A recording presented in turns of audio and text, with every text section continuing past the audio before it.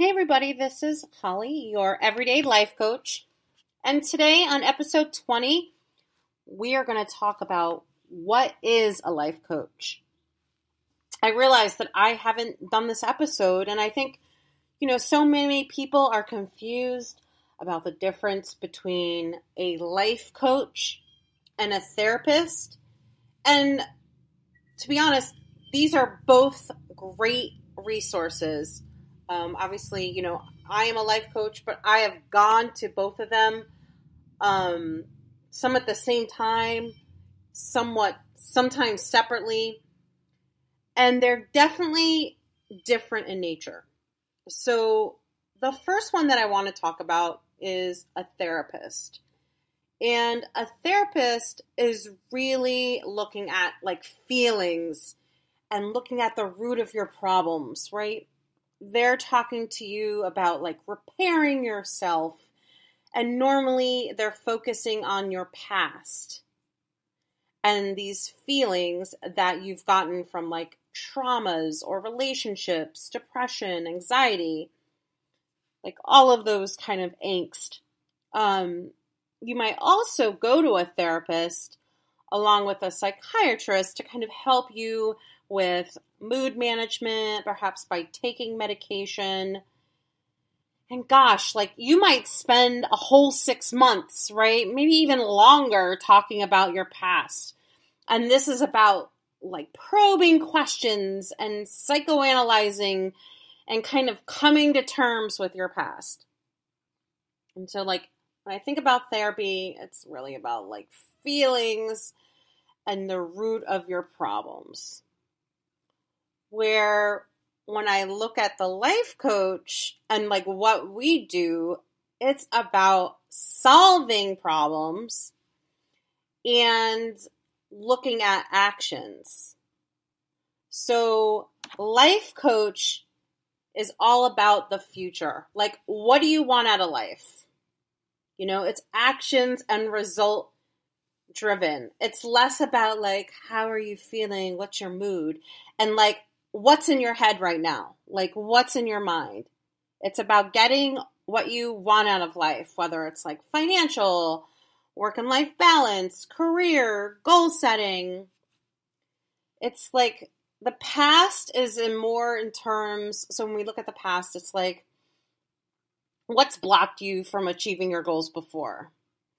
So we kind of like look at those and it's like, okay, let's find another way to to try to combat these goals then.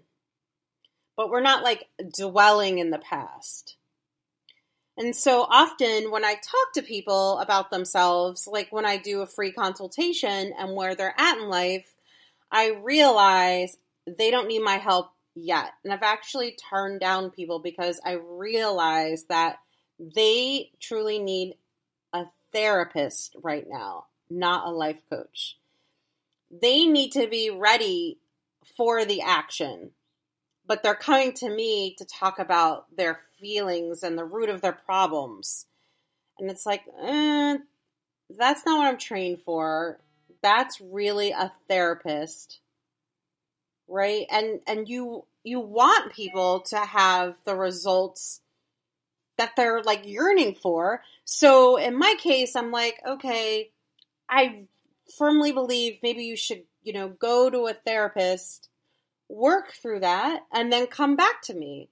Because we want those lasting results. And if we are in a situation, um, you know, where our past just keeps being played over and over, and I'm sure everybody has kind of like felt that way at some point. Going to a life coach is not going to change that. So you kind of have to get like work through those the root of your problems and then be like, okay, I'm ready.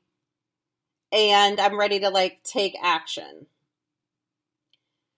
And and that truly is the difference. I mean, when you're trying to find a life coach, I think that chemistry is the most important thing you're about to put this person in the trenches with you. And this is somebody that's going to help you achieve your goals. So it's really important that your their style matches well with how you learn or react to others. Um, it's you know it's important on how they plan on working with you, like what's their process.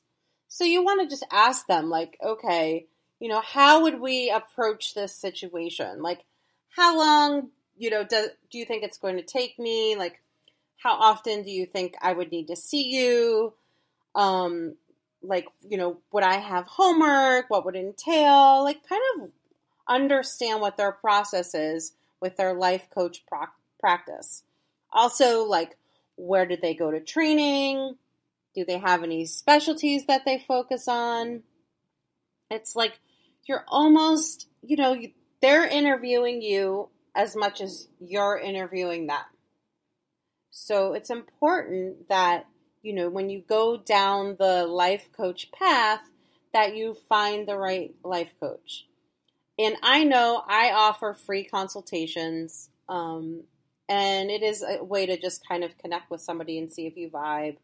Most life coaches do, and you can find them.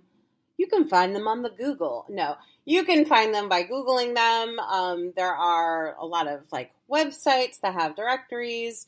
You can ask people on Facebook or your other social media channels.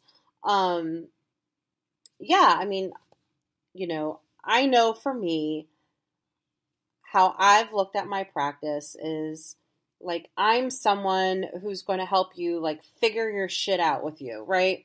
I'm not going to be the one who does it all, but I'm going to help you like figure out your shit, put a plan in place and a course of action and make sure you stay on course. So like I definitely have a no BS type of practice. So that's the difference between life coach and a therapist. If it sounds like I'm the type of person that you need in your life right now, hit me up on my social media, on my website, and let's connect.